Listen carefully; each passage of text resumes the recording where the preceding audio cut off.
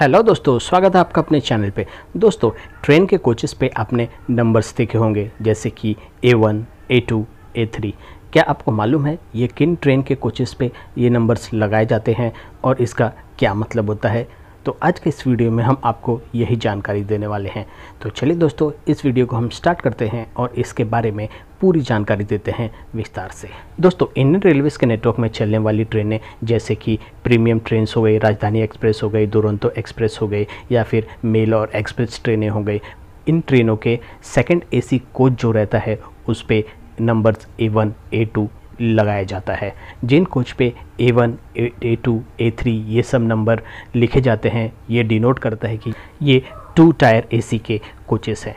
अगर आप third AC coaches में ट्रैवल करते हो तो उस पे नंबर्स रहेगा B one B two B three sleeper class पे रहेगा S one S two S three अगर थर्ड ए सी इकनॉमी में अगर ट्रैवल करते हैं आप तो उस पर लिखा रहेगा M one M two M three वैसे ही अगर जब भी आप सेकेंड ए सी कोचेस में ट्रैवल करेंगे तो उस पर A one A two A three numbers लिखा रहेगा। अगर ट्रेन में एक कोच है तो उस पर लिखा रहेगा ए वन दो कोच है तो उस पर लिखा रहेगा ए टू अगर आप सेकेंड ए सी का टिकट बुक करेंगे तो टिकट बुक होने के बाद आपका सीट कन्फर्म रहता है तो उस पर लिख के आएगा A one ten A two fifteen A three twenty ऐसे करके आपका सीट नंबर रहेगा। दोस्तों सेकंड एसी कोच में ट्रैवल करना बहुत ही आरामदायक माना जाता है। जैसे कि आपने थर्ड एसी में देखा होगा, उसमें एक साइड में तीन सीट्स रहते हैं, उसके ऑपोजिट तीन सीट्स रहते हैं लोअर मिडल अपर और साइड में दो सीट्स रहते हैं साइड लोअर और साइड अपर वहीं पे आप सेकंड एसी में जब यात्रा करते हैं तो इसमें आपको एक कैबिन में दो सीट्स रहेगा लोअर और अपर उसके ऑपोजिट से और साइड में दो सीट्स रहते हैं साइड लोअर और side upper second A coaches में मिडल बर्थ नहीं रहता है। इसकी वजह से यात्री अपना यात्रा कंफर्टेबली पूरी कर लेते हैं। सेकंड एसी का जो कोच रहता है, वो पूरी तरह से वातानुकूलित रहता है। इसमें जब भी आप यात्रा करते हैं तो जो नए एलएचबी कोचेस आ रहे हैं, उसमें आपको मोबाइल और लैपटॉप चार्ज करने के लिए चार्जिंग पॉइंट मिल जाता है।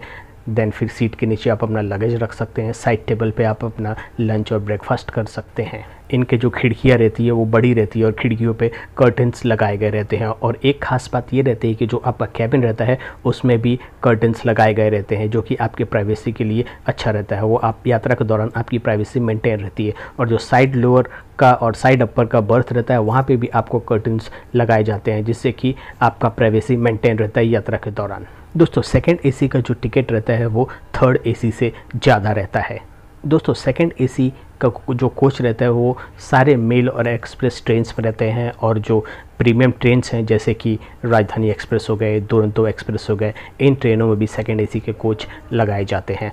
जब भी आप प्रीमियम ट्रेन जैसे राजधानी एक्सप्रेस हो गया, दुरंतो एक्सप्रेस हो गया, इनके सेकेंड एसी कोच में ट्रैवल करते हैं तो आपको यात्रा के दौरान फ़ूड प्रोवाइड किया जाता है, जिसका पैसा आपको यात्रा के दौरान देने की ज़रूरत नहीं रहती है, क्योंकि खाने का पैसा जो आपका टिकट रहता है, उसके अंदर ही इंक्लूड किया गया रहता है। तो टाइम टू टाइम केटरिंग वाले आपको ब्रेकफास्ट लंच डिनर सर्व करते रहेंगे। दोस्तों, जब सेकेंड एसी कोच में ट्रैवल करते हैं तो इसमें आपको लिनन सर्विसेज़ मिलती है, जैसे कि कंबल, चादर बेडशीट और तकिया यहाँ पे जो कोच अटेंडेंट रहते हैं, वो आपकी हर प्रकार की सहायता करते हैं। आपको किसी चीज़ की भी रिक्वायरमेंट रहती है तो वो उसको पूरा करते हैं। इसमें साफ़ सफ़ाई का भी अच्छा ख्याल रखा जाए तो दो कोच रहता है, उसको कि अच्छे से साफ़ सफ़ाई की जाती है। दोस्तों सेकेंड ए का टिकट बुक करने के लिए आप ऑनलाइन आईआरसीटीसी का वेबसाइट, आईआरसीटीसी का मोबाइल ऐप या फिर स्टेशन पर टिकट विंडो काउंटर पर जाकर बुक कर सकते हैं। दूसरे क्लास के मुकाबले सेकेंड एसी में ट्रैवल करना बहुत ही कम्फर्टेबल होता है। इसमें यात्री आराम से अपनी यात्रा पूरी कर सकते हैं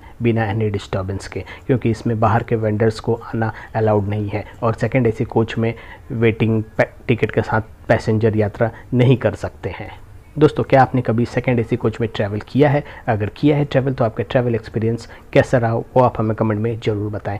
तो क्या दोस्तों, आपको मालूम था A one A two A three ये नंबर्स किन कोचेस पे लिखे जाते हैं? होप ये जानकारी आपको अच्छी लगी रहेगी। अगर ये वीडियो आपको पसंद आया हो और आपको कुछ सीखने को मिला हो तो हमारे चैनल को ज़रूर सब्सक्राइब करें, वीडियो को शेयर और लाइक करें।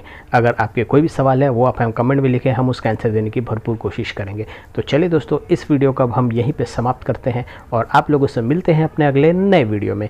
तब तक के लिए बाय बाय, टेक केयर, जय हिंद।